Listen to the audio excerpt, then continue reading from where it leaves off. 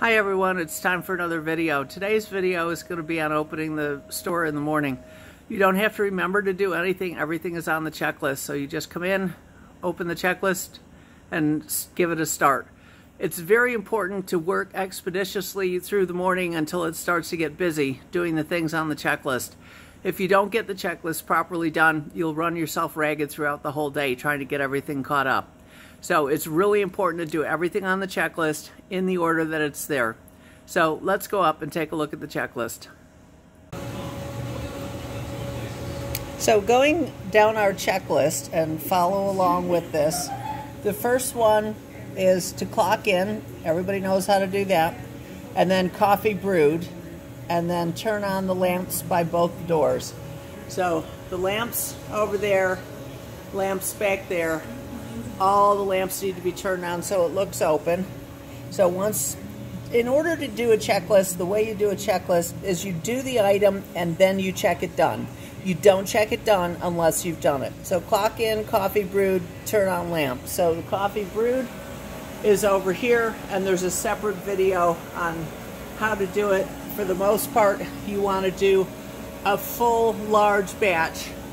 So you weigh the coffee here, grind it here, put it in this basket here, and get it going so when the first customer comes in, there's coffee brewed. The second thing you want to do is open your POS, open the shift, set up the drawer, and have change. So if there's a supervisor around, you want to get the change right away. If you need change and you don't have it, then don't check this done. So this is check done, so we're going to assume that there's change in both drawers, but we're going to go ahead and check anyway. So here in this one, you can see that there's no nickels and there's none over here, although the ones are okay and the fives are okay. But this drawer is not okay because there's no nickels there. So going over to the other drawer, this one is marginally okay. Five is the threshold for when you want to get more coins. And there's none here, although for some reason there's a bunch of pennies that need to be used. But there are ones and fives here so this one is marginally okay. But over here, we do not have change. So this should not be checked off. So we're just going to put a circle there so that when our supervisor comes in, we can look at the circled stuff, which is all going to need supervisor attention. The next thing, paper and POS printers, backup roll of each kind of paper. This printer is a thermal printer and it takes thermal paper. This is an impact printer and this takes impact paper. This paper is different than this paper. This printer has a ribbon deep down inside, so the ribbon is what prints on the paper. So here's paper down here, and this paper is supposed to be marked with a T for thermal, and it's not. So we'll have to get somebody to do that. And there is some paper with ink things. So this is impact printer paper. This is thermal paper right here. So here's the backup paper, so we're good on that, so that can be checked off. When you've got the coffee brewed and the registers set up, it's time to open the store. So we want the open and espresso signs on and the lights on. Any lights that weren't turned on before, you want turned on now, and then both of the doors unlocked. So once this is done, you put a check mark over here. So that's pretty self-explanatory. The open sign on, which is there in the doorway, and all the lights turned on. Then you want to check that the pitcher and the long spoon from the dish pit is up front. So this is checked off, so we're going to assume it's done.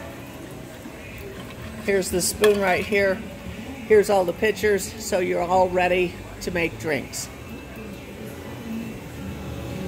Turbo Chef on, sandwich board out front near curb, weekends only. So we have a sandwich board to put out front, but only on weekends. Turbo Chef on is just done right here. Just push the on button and it'll come on. This is the critical item list, and what this is is a section of about 10 things that you absolutely need to run the store. So, coffee beans for the espresso machine, almond milk, chai tea concentrate, um, eggs, half and half, whipped cream cheese, lettuce and tomato, and then toilet paper and paper towels, and then sugar for the dispenser. This is kept in the front of the book. right here. So for checking the critical items, that's where the list is. You just want to go through it. If you need anything that's not on there, you just want to go over to Safeway and pick it up because those are things that if you don't have them, will run into problems. So check critical items right now. It's just handwritten in because we just started doing it because what was happening is people would be out of lettuce or tomatoes and wouldn't know it until they had an order and they'd have to run next door and get it while a customer is waiting. So now we're checking the critical items. When this list is redone, it'll have a slot here. The next thing, make the three sanitizer waters. There's a separate thing on how to do that, but this is checked off, so we're just gonna check it. So yes, we've got water there. Yes, we've got water there.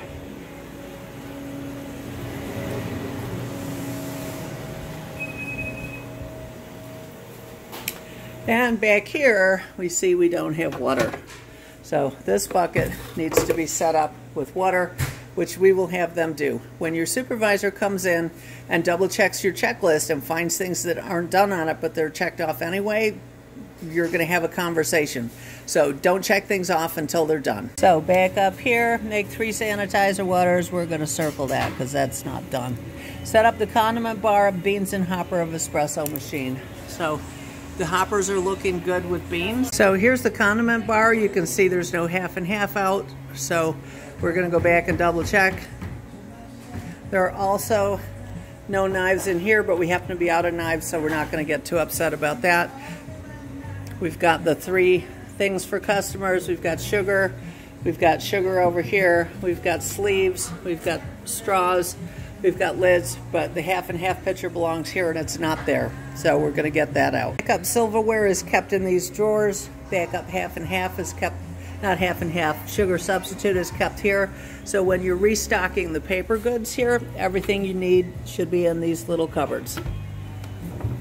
Here you also want to make sure that the bus tub has been emptied from yesterday, which it has. Okie dokie, so we're back over here, the condiment bar, has been checked off and it was not done. So look at all those things that were checked off and not done. It is really important to do the things on the checklist properly or when you get busy you will run yourself ragged.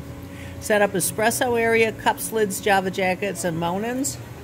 So that would be the cups right here, the lids, the Java jackets, keep your personal stuff out of customer areas. This is not for sale to a customer, and this is not for sale to a customer. It's a health code thing to keep your personal stuff out of the area. We're on the topic, please bring in your own cup for drinks. Thanks, we appreciate it. Cups are expensive, over $100 a case. And if we have four or five people on a shift and each of them has two or three cups, you can see how we can go through cups in a hurry. So please bring in your own cups. Thanks. When you're taking things out of the oven, instead of just blindly taking them out, you want to check that they're done. Now this tray right here looks a little bit light, so we're going to leave this in for another minute. But the rest of the trays look done. See, that's all brown. That one's done, that one's good. But that last one we're going to give an extra five minutes to. The cheese on it isn't quite melted, and they look beautiful, but they're not quite done. So we want to give them an extra minute. So go ahead and